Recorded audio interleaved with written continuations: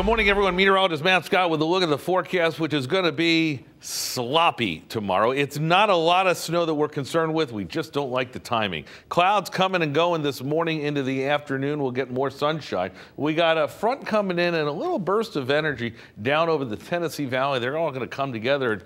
Because of that Tennessee Valley stuff that we're actually thinking there's going to be more activity snow-wise down on the shore than anywhere else. Briefly bigger temperatures today, very mild into the 40s thanks to a strong southerly flow ahead of this front. Look at 2 a.m. in the morning. This may start as rain as the temperatures are slow to slide, but it does change over into snow.